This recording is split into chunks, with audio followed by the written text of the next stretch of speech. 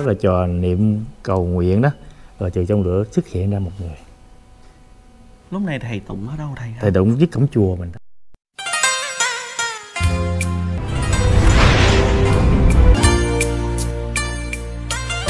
À, con với chú cùng với à, sư thầy. À, tham quan chùa cũng như là à, coi những cái thước phim mà thầy mới vừa nói. Dạ. Dạ. Và mời quý vị đây. Ở đây là chùa của mình trên dưới 200 năm đặc biệt hơn á là chùa này á, là được một vị khai sáng đó là làm bộ thượng thư của chùa Đình Nguyễn. Về đây Ồ. để khai sáng cái, cái, cái chùa này. Và chùa đặc biệt hơn nữa được uh, vua Gia Long tặng cho một cái chuông. Và niên hiệu của vua Gia Long và được chữ ký ở đây cái chuông của chùa này vẫn còn tồn tại. Dạ. Và gần hơn nhất á như nãy gì nói trò nói đó dạ. trò tụng kinh mà trong lửa xuất hiện ra đó đây là sự minh chứng của cái chùa này đây từ trong lửa. Lúc đó là trò niệm cầu nguyện đó. Rồi từ trong lửa xuất hiện ra một người. Lúc này thầy tụng ở đâu thầy thầy tụng trước cổng chùa mình thôi dạ. Ở trước cổng chùa để đốt lửa cúng chư thiên á dạ. Cúng hàng năm. À, năm nào trò cũng cúng chư thiên. Cúng rất là đặc biệt. À, cúng lớn lắm.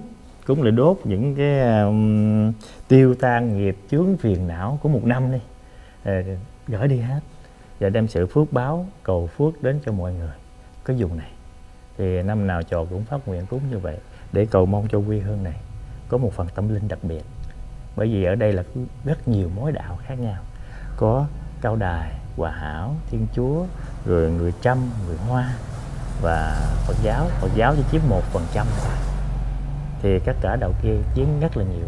Trong đó là à, cao đài là 70 phần trăm và hòa hảo là 99 phần trăm tự mình là có là quan âm cổ tự là từ trước giờ luôn hay sao chùa này có quan âm của tự là từ trước nay rồi. Dạ. Nhưng mà trò muốn về đây trò đặc biệt hơn có cái á, là trò muốn hòa đồng tôn giáo. Trong đó chùa của trò cũng à, thờ Đức Quỳnh giáo chủ chân Đức Quỳnh giáo chủ. Bởi vì Dạ. là trò nói rằng quê hương chúng ta là một dân tộc. Bình đẳng. Dạ. Ai cũng có quyền đến với nhau hết. Và đừng nên phân biệt đừng nên chia cắt và đừng nên chia rẽ nha, mà chúng ta nên đoàn kết như ông bà mình vậy đó. Cho nên chùa của trò là chuyên sử dụng chống đồng là chính. Trò ý thức rằng quê hương ta, dân tộc ta, ông bà mình đã giáo dục mình rằng nên nên đoàn kết, nên hòa hợp bởi vì mình là anh em. Con cháu lạc hồng, con rồng cháu tiên là những người thân với nhau. Thì thế trò muốn khái niệm rằng về chùa của trò đó, ai là cũng người thân hết. Trò không phân biệt, già, trẻ, bé lớn, giàu, nghèo, sang trọng hết. Quý vị với tôi là người thân hết hoàn toàn là người thân cho nên chống đồng là ý thức cho trò. Dạ. Hãy làm sao? Phát khởi thiện tín tâm đoàn kết dân tộc đoàn kết tư tưởng đoàn kết hòa hợp mình mới hạnh phúc.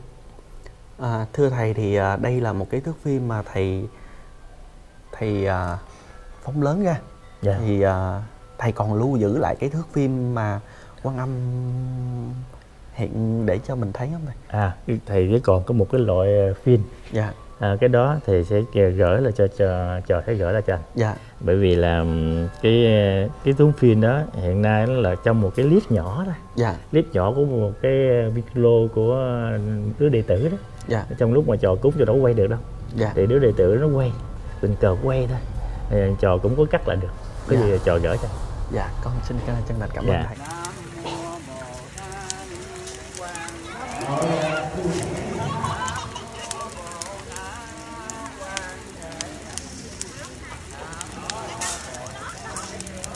thầy chắc có lẽ là con nhà thầy hướng dẫn con đi tham dạ quan đây đây tham quan chùa. Đây mà mở ra vì ra đây. Trò thì cũng ờ, có niềm vui. Niềm vui lớn của trò tức là tôn trọng cái nón lá. Dạ. Tại sao à, trò thích nón lá? Bởi vì dân tộc Việt Nam á, nón lá là quan trọng nhất tại sao trò luôn luôn sử dụng nón lá đội trên đầu mình?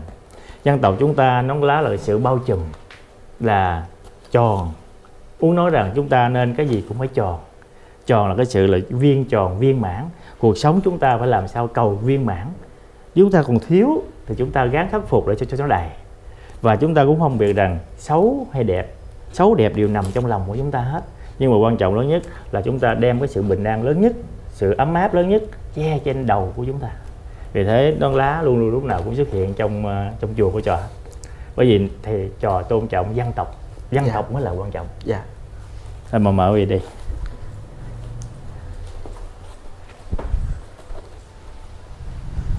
Thế thầy à, thầy đội dù mang dù. Cho nó mát. Dạ. Đó thầy mang dù mới được. Dạ. Dạ được rồi chú. Con như như con trò đi. nãy trò mới à, nói đó. Dạ. Tức là trò có đây là tác phẩm của trò với thầy của trò. Đây là thầy phước đó nha. Dạ. Đó là đó là chữ của thầy phước vẽ. Trò triết lý trong cái đó, tất cả cái nào cũng là đẹp. Nhưng mà trò đập ra một cái dĩa bể. Trò mới nói rõ. Ý thức cho trò và ý thức của mọi người luôn. Đừng bao giờ cầu toàn. Trên cuộc sống của chúng ta không có ai toàn mỹ đâu. Mà trong cái xấu mình nè, phải có cái đẹp. Mà trong cái đẹp cũng có cái xấu. Nếu chúng ta xấu thì chúng ta phải làm cho đẹp lên. Và chúng ta đã đẹp rồi, chúng ta nên để làm đẹp hơn nữa. Quan trọng lớn nhất, trò sống trong cuộc sống á, khuyên người ta đừng bao giờ chê trách người khác. Đừng bao giờ hãm hại người khác. Đừng bao giờ dèm pha người ta. Nhưng làm sao chúng ta phải tha thứ cho nhau? Tại vì chính trong đời này ai cũng xấu hết á. Dạ. Ai cũng có lỗi hết á. Chứ không phải ai cũng lỗi hoài. Nhưng mà mình nên nói là à thôi người đó có lỗi nó là em mình nên tha cho nó đi. Nếu người mình có thể tha cho cha mình mình có thể tha cho mẹ mình mình có thể tha thứ cho bất cứ một người nào người ta mới tha thứ cho mình trên đời này ai cũng có lỗi mà. Dạ. Nhưng có lỗi biết tha thứ lỗi là hạnh phúc nhất. Dạ. Nên trò vô, vô chùa trò trò ý thức mọi người nên đưa cánh tay dài ra vì nhau thương Dạ. nhau. Ở đó, Ồ. trò trò ví dụ phải đi. Dạ. dạ. đây là chữ của chú ờ, chú vẽ. Ô. Ờ, đó là nghệ thuật. nghệ thuật nghệ thuật cao lắm. Đây chú vẽ luôn hả chú?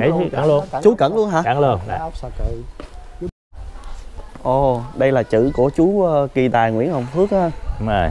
Ờ, cẩn ốc chú đã ờ, làm làm đẹp thêm ờ, cho chùa. Nhưng mà ý tưởng của thầy là cái ly nhưng mà tôi để để ngay cây dừa. Ừ. đây tác phẩm tôi còn kỷ niệm thầy đó. ô của chú luôn. Rồi. cái nhà nhà vệ sinh vẫn còn của chú. Nguyên nguyên đó là của tôi không. Đây ừ. ồ. Ở đây có nuôi mấy con cá quả tiễn vui lắm. Mà bữa đó cắn tôi gãy cái mũi đứt cái tay ở đây ở chùa ở trò là chùa bánh khọt. Tại nếu mà không có mà dịch á ở đây là ngày nào có dùng bánh khọt hết á. À, đúng rồi. Là chùa bánh khọt. Dạ. Đây là chùa đang chuẩn bị ờ, trên đường xây dựng. Dạ.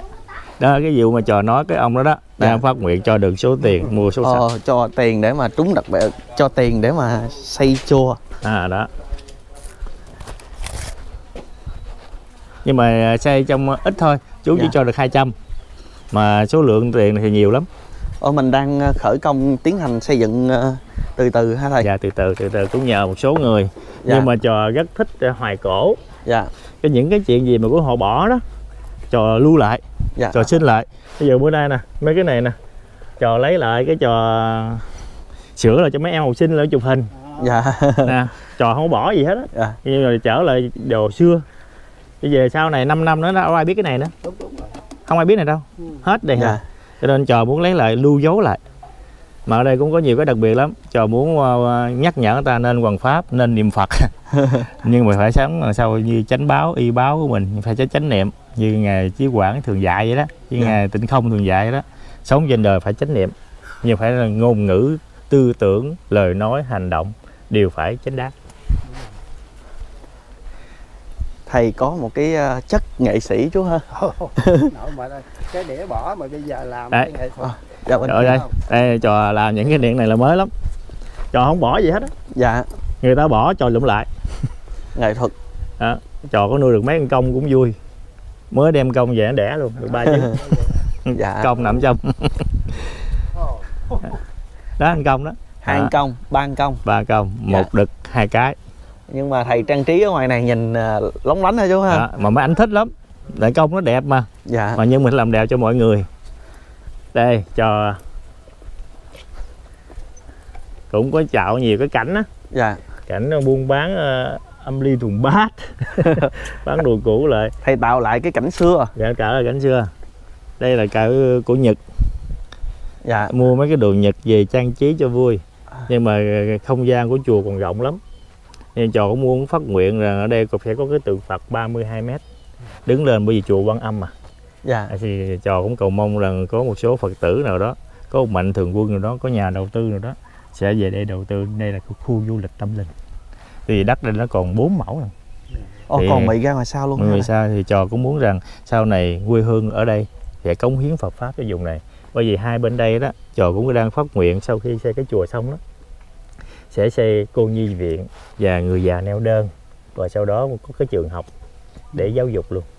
Và muốn truyền tải tinh tinh thần tư tưởng văn hóa dân tộc Việt và tư tưởng của Phật pháp và tư tưởng của nhân loại cống hiến cái quê hương nhỏ này.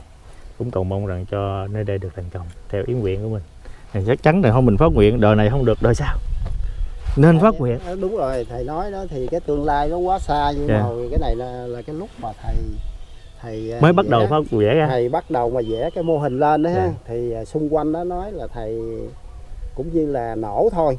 Tại vì lúc đó thầy mới 32, 33 tuổi ha. Dạ. mà nói một cái tượng Phật ba mươi mấy rồi những cái thiết kế thầy người ta ngoài sức tưởng tượng. Nhưng mà đến bây giờ đó là quá nhanh luôn. Dạ. Tôi cũng gắng cầu mong cho được được không phải cho mình luôn. mà cho mọi người. Dạ. ai cũng cùng hưởng như trò nói đó. Đây là dân tộc chung. Dạ. con người chúng ta đều chung. Những người lớn những người có khả năng nên tặng lại cho những người không có khả năng để cho thế hệ sau nó có một cái nơi để về họ tu tập thôi. Thì trò cũng cái cầu mong mà vậy thầy à, nói đó và tôi nhớ tới bây giờ tức là thầy nói chùa thì chỗ nào cũng có thể xây dựng được. Nhưng mà đặc biệt ở đây thì nhìn tới nhìn lui á thì cũng không có cái chùa nào mà để cho mọi người ta đến để chiêm bái này kia đó lễ bái đó. Thành thử ra thầy nói ít nhiều gì có cái chùa thì cũng có những cái tư tưởng cũng phải là từ bi thì nó hạn chế cho xã hội vấn đề là nó khác. Bây giờ nếu bây giờ. nếu mà có chùa đèn á thì mình sẽ giúp ích được cho thế hệ trẻ dữ lắm. Tại vì Dạ, dạ. trò nhắm vào thế hệ trẻ. Bởi vì sao? Quốc gia thành công hay thất bại là do thế hệ trẻ. Tương lai nó là người quản lý tương lai. Bởi vì chúng ta là người lớn rồi là một thế hệ đi trước rồi thì không đáng nói nữa. Ừ. thì quốc gia nào cũng rất cần thế hệ trẻ. Bởi vì thế hệ trẻ là một cái chất xám chất xám của ông bà để lại cho họ hướng dẫn họ đi đường đúng hướng. Chứ còn bây giờ á thế giới mà không có tâm linh á không có đạo đức á thì sẽ thối nát hết. Dạ dạ đúng. Thì quê hương nào cũng thế dân tộc nào cũng vậy. Thì cho nên bây giờ trò cũng việc phát nguyện về đây nè. Trò làm sao cho thế hệ trẻ nó quan trọng nhất lắm. Bởi vì thế hệ trẻ là cái, cái mầm móng là cái bó hoa đẹp của quê hương mình của dân tộc mình. Thì làm sao cũng cầu mong rằng cho ai cũng hướng về một cái tương lai tương lai đặc biệt mới được. Mà hiện hiện tại chúng ta không đặc biệt cũng rất nguy hiểm. Nhưng mà đặc biệt là gì? Nếu có chùa thì mình mới giáo dục được họ. Họ có nơi đến họ có gỡ gắm tâm hồn của họ vào một cái chốn bình an nào đó. Rồi từ cái chốn bình an đó mà họ học học được từ bi học được lòng từ học tình thương thì họ có tình thương có từ bi họ mới giúp ích được người khác. À, bây giờ mấy anh em mình đi vòng vòng nha. Vòng vòng để à, tham quan một số nhỏ thôi à, bởi vì chùa đáng lẽ anh sẽ ra ngoài anh quay à, giới thiệu một cái chỗ mà đền hùng đặc biệt lắm. Quốc tổ hùng dương á. Dạ. Hồi nãy thầy à, nãy chưa qua đó. à. Đây đây mời đi qua bên quốc tổ hùng dương. Lâu lâu quay cái mấy cảnh này lại là nghệ thuật của trò đó. Nghệ thuật của trò trong giai đoạn dịch. À, dịch mà vẫn tỏ sáng và vẫn đầy màu sắc. Ha. đúng rồi đó ý là chỗ đó ý nói là thôi, mình đừng có đau khổ nữa.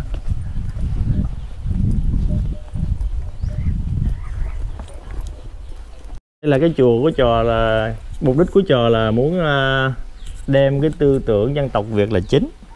Chùa bốn mặt rồi bốn góc mới là quan trọng nhất.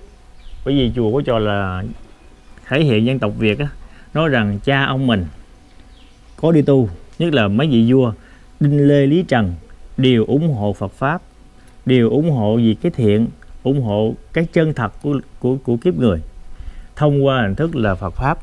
Vì thế á, trò muốn nói là bốn gốc này là bốn vị vua minh quân đều ủng hộ Phật pháp. Thì chúng ta là những người thứ dân những người con cháu sau này là cũng phải noi gương theo tổ tông mình.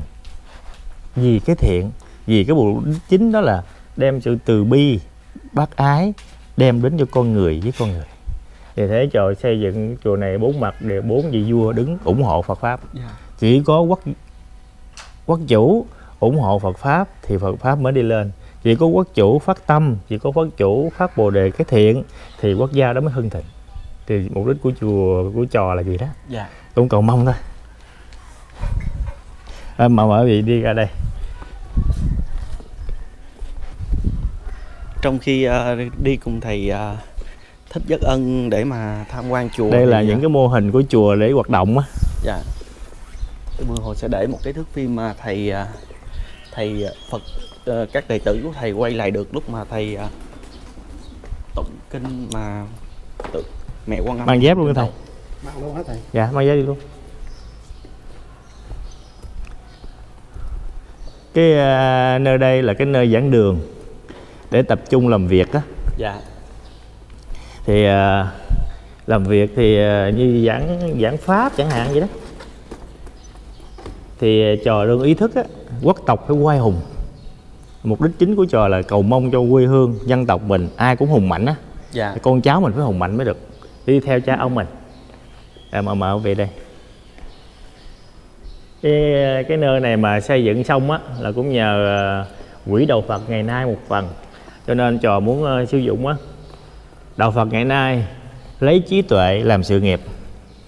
Bây giờ con người ta phải có trí tuệ mới là sự nghiệp lớn. Dạ. Nếu không có học thức thì không có được gì đâu. Phải học vấn phải học thức lớn. Nhưng mà trong học thức đó phải có lòng từ bi mới được có tình thương mới được.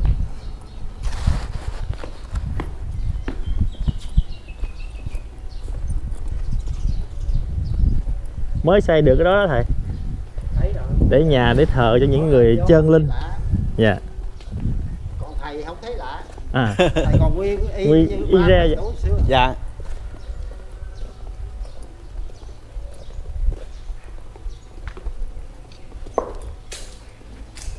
Đây cái tượng này là cái tượng quốc tổ hùng vương hàng năm á. Dạ. À, được tổ chức lễ và hiến cúng. Tượng quốc tổ á. dạ. Thường thì à, ở chùa thì ít thấy ha chú Phước ha mà đặc biệt ở chùa thầy thì lại có tượng quốc tổ. Cái gì là trò là, là quan quan trọng lớn nhất á là như nãy trò nói đó. Dạ. Làm sao đoàn kết tính dân tộc đoàn kết tôn giáo đoàn kết tư tưởng cho thế hệ trẻ sau này đó nó biết rằng à cha ông mình đoàn kết thương yêu nhau thì để sau này cho mấy đứa nhỏ nó đừng đánh nhau nữa. Dạ. Nó đừng đả phá nhau nữa. Nó đừng dèm pha nhau nữa. Nó đừng chém giết nhau nữa. Bởi vì thế hệ trước chúng cha ông mình đã một thời rồi. Thì sau này cho con cháu mình nó giảm giảm lại. Thì cho nên trò nó yêu chùa sau này mấy đứa em nó sẽ ý thức được rằng à đây là sự giáo dục. Giáo dục biết đoàn kết biết thương yêu. Thì trò chỉ mục đích chính của trò sống trong đời là vậy thôi. Xây dựng cũng vậy thôi. Dạ. Để lại đời một cái gì đó để cho một cái thế hệ trẻ nó học. Học là thôi biết thương yêu biết tha thứ. Cái đó mới là điều quan trọng lớn nhất mà trò cần nhắn nhủ cho thế hệ trẻ Dạ. trò cũng đã được hoàn thành được một số việc cũng mừng đi dạ. thấy à, thầy cái lúc trước á, là đang xây dựng thành ra có nhiều khi cái cái à, thiết kế cái mô hình này kia nó không có dạ rồi có nhiều à, phật tử không hiểu nói thầy làm sao mà nó lung bu bu quá nhưng mà thực tế tới tới cái ngày giờ này là mười mấy năm nay đó nó dần dần nó lộ. Ừ, nó mới lộ ra cái không không lúc luôn trước là chưa ra hình ha chú ha? chưa chưa có bởi vì lúc trước Dạ. nó nó bừa bãi lắm. Rồi mình cũng thầy thì thích thiết kế mà ngặt cái không gian đâu có. Thành thử ra thì làm cho nó vui thôi. Dạ. Nhưng mà bây giờ nó mới là nghiêm túc. Cái giờ này đó thầy mới lộ tướng. À. thế là chân nhân chân nhân bắt lộ tướng. lộ đó. Dạ. Bái phục thầy luôn. À, gác à, mời mấy vị ơi à, kính thầy mời thầy vô dùng à, miếng nước với trò Ờm, dạ con hôm nay thì đến đây được ờ, gặp thầy để mà có cơ duyên con được đồng hành cùng với lại chú chú Phước. Dạ. Để mà gặp được ờ, thầy để ờ, nói cho con hiểu thêm về chùa của mình. Dạ. Cũng như là con có dịp về đây để mà kính Phật. Dạ. Thì con xin chân thành cảm ơn thầy. Chúc Dạ. thầy ờ, sức khỏe an lạc. Dạ. Dạ. Mô Phật Thôi kính chúc anh cũng vậy. Luôn luôn đem sự vui vẻ Đem sự à, trí thức Và đem sự quyền bí Và đem sự bình an đến cho mọi người thông qua những cái kinh của mình. Dạ. à, Cầu mong rằng anh được bình an lợi lạc Và xin chúc quý vị luôn luôn được vui vẻ Luôn luôn được quan hỷ Luôn luôn biết tha thứ. Hãy à, đem sự tình thương với nhau. Hãy Phật chúc phúc quý vị hạnh phúc. Dạ con chào thầy